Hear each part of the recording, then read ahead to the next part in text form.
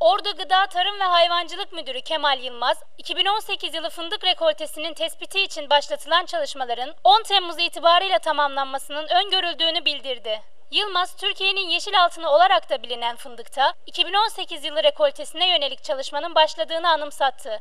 Yılmaz, diğer Karadeniz illerinde olduğu gibi Ordu'da da çalışmaların aralıksız devam ettiğini belirterek 25 Haziran'dan bu yana arkadaşlarımız bahçeleri tek tek gezerek rekolte tespitine başladı. Bu çalışmaların tahminen 15 gün kadar sürmesini bekliyoruz. 10 Temmuz itibariyle rekolte çalışmalarının tamamlanması öngörülüyor diye konuştu. Temmuz ayı içinde yürütülen çalışmalardan elde edilecek verilerin ilgili bakanlığa dosya halinde sunulacağını ifade eden Yılmaz, tüm illerin 11 Temmuz itibarıyla tahmin ettikleri fındık rekoltesini bakanlığa bildirmiş olacağını söyledi.